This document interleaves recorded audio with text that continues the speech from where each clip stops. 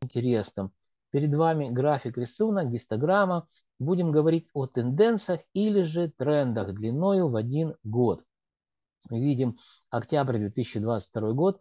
Напомню вам, что это социальное жилье, самый большой класс рынка недвижимости, который эксплуатируется в Украине. Ну и понятно, что в городе Днепр. 608 долларов стоимость квадратного метра в октябре 2022 года. И спустя 12 месяцев, это октябрь 2023 года, это уже 581 доллар. Причем мы видим, что снижение за год, друзья, всего лишь 4,44%. Я не ошибся. Многие риэлторы в начале войны говорили, что рынок обрушился на 60%. Сейчас у них другая песня, что все растет. Э, но я э, как бы опираясь на статистические данные, могу с цифрами подтверждать свои, так сказать, умозаключения. Всего лишь за год минус 4,44%. Мы также, друзья, делаем, вот здесь видим, э, считаем индексы, э, индексы рынка недвижимости. Это интересная работа, мы ее делаем на протяжении ну, многих лет для крупных банков. И, так сказать, в рамках этой работы у меня есть возможность поделиться с вами данной информацией частично. Что такое индекс? Индекс – это макроэкономический показатель, который характеризует изменение стоимости во времени. Он считается достаточно просто. Делим 581 э, вот здесь на 608 э, долларов.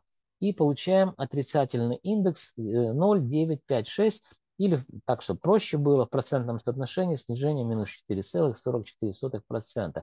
Друзья, ну по сути дела мы подвели с вами итоги Итоги э, по 12 месяцам, да, октябрь 2022 месяца, э, года сравнивали с октябрем 2023 года. И видим, что э, на 4,5% подешевело недвижимое социальное жилье.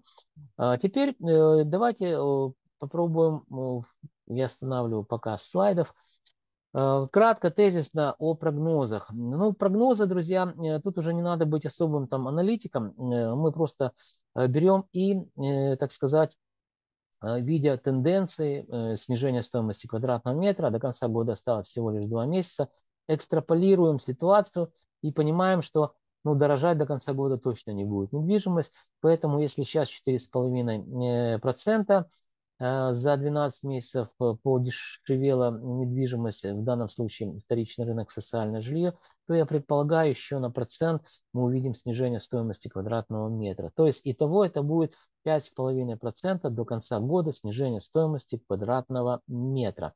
Насколько я прав, не прав, мы посмотрим, но в любом случае, друзья, вы должны понимать, что я э, там не угадываю цифры, я не играю в лото, не играю там в какую-то рулетку, да, и не моя задача вообще угадывать, насколько подешевеет на 4 или на 5 процентов. Я могу, конечно же, ошибиться. Моя задача показать вам тенденции. А тенденции отрицательные – это тенденция снижения стоимости квадратного метра, и я не сомневаюсь, что э, мы эти тенденции будем видеть до конца года и также следующий 2024 э, год. Друзья, ну постарался очень подробно с цифрами рассказать вам о том, что происходит с, э, я прошу прощения, показал с цифрами, что происходит с рынком недвижимости. Но пришло время прощаться. Для того, чтобы вы знали, что э, происходит с рынком, вам необходимо, друзья, ну как минимум подписаться на мой канал.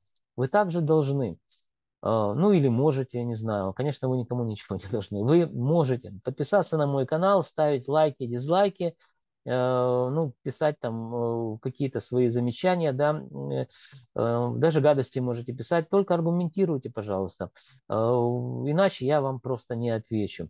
Друзья, Вроде рассказал э, все, но вы еще должны помнить, что я ваш скромный слуга и компания Алим Консалтинг готовим для вас ежемесячные обзоры рынка недвижимости, которые я уверен и надеюсь станут для вас компасом в каменных джунглях рынка недвижимости Украины. Друзья, до э, встречи в следующих моих видеороликах.